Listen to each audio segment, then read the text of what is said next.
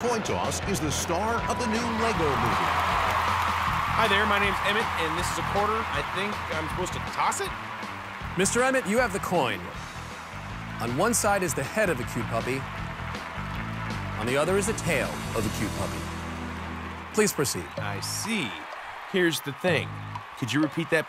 Just toss the coin. I feel like you said more than that, but okay. And it's cute.